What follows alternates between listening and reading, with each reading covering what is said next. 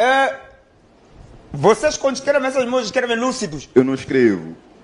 Não, nunca Quando gravas, quando entras assim na cabine de som, estás lúcido. Lúcido. A- Logo que acordo em casa, a primeira coisa que eu faço é gravar. Essas músicas todas estão no iTunes, top Tem 5. qualidade de tempo, Exatamente. Tem É qual- qualidade, isso aqui, pá, isso parece uma Exatamente. gatinha, estamos ouvindo. Yeah, para, ser, para, ser muito, para ser muito breve, Ah. não gastei nenhum dinheiro a fazer esse tipo de música, essas músicas que estou a fazer. Ah, desculpa lá, as pessoas são lixo, pai. Exatamente, exatamente. Isto é exatamente. lixo, mano. Exatamente.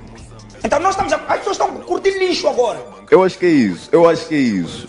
Acho que é isso. não, isso, isso é brincadeira. Hã? Não, deixa eu ver o que estão dizendo aqui nos comentários. Isso é um lixo, na minha opinião. Estou falando empreender. Fred diz que a música dele Vega é um lixo. Não sabe que ele é um bicho. Ninguém quer pegar o pita do Fred. Se for mulata, aquele mamá fica red. Esse nome de Fred é uma ofensa. Cara de Fred parece uma deficiência. Aquele programa é uma porcaria. Boca de Fred, ninguém é tipo bocaria. Fala muito mais que mana macia. Que mamá pita de Fred, tipo beef. Boy Fred, o Red, Tinzava. Fala maninho que não sabe que é filho de DJ Mavava. Louco, nem mu comandou mu cava. Bode la Vega, o Red, este dias. Ele